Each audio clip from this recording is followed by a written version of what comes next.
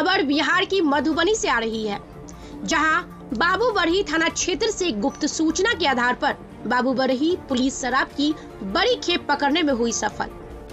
इसकी पुष्टि करते हुए थाना अध्यक्ष रामाशीष कामती ने बताया, वहीं गिरफ़्तार कारोबारी का पहचान झंझारपुर थाना के चनोड़ा गोत गाँव के चंद्रमोहन ठाकुर के पुत्र श्याम बाबू के रूप में हुई है। वहीं गिरफ़्तार शराब कारोबारी श्याम बाबू को आगे की कार्रवाई हेतु न्यायिक हिरासत मधुबनी भेज दिया गया है। बी न्यूज़ के लिए मधुबनी ऐसी संवाददाता हरीश शंभू की रिपोर्ट।